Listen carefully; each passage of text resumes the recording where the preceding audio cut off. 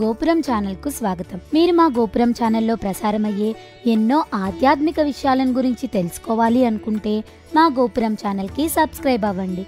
ఈ రోజు మనం తెలుసుకోబోయే ఆధ్యాత్మిక విషయం. నీరు లేకుండా చేసే స్నానాలు ఎన్ని వాటి పరమార్థం ఏంటి అనే దాని గురించి తెలుసుకుందాం. నీరు లేకుండా స్నానమా?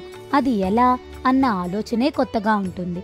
నీరు లేకుండా చేసే స్నానాలు ఏడు విధాలు.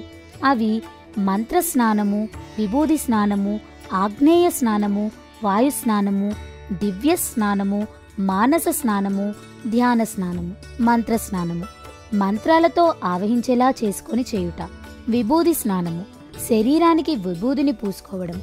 ఋషిపుంగవులు చేసేది ఇదే. ఆగ్నేయ స్నానము. మంత్రాన్ని ఉచ్చరించి భస్మాన్ని పూసుకోవడం. వాయు స్నానము. ఆవు గిట్టల వలన ఏర్పడిన మట్టిని శరీరానికి పూసుకోవడం దివ్య స్నానము ఉత్తరాయణ పుణ్యకాలమందు ఎండలో నిలబడి ఉండడము మానస స్నానము తడి బట్టతో ఒళ్ళంతా తుడుచుకోవడము ధ్యాన స్నానము తులసి చెట్టు పాదులో జలాన్ని చల్లుకోవడము. ఓం నమో భగవతే వాసుదేవాయ.